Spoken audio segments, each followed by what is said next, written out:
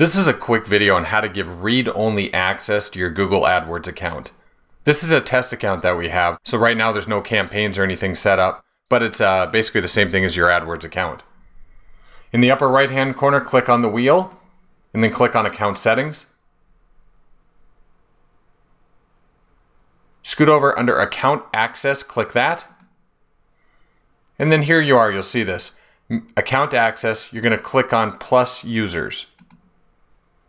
Here's where you want to enter the email address of the person that you're inviting. You can enter their name, that is optional. And then right here, you're going to click on read only access.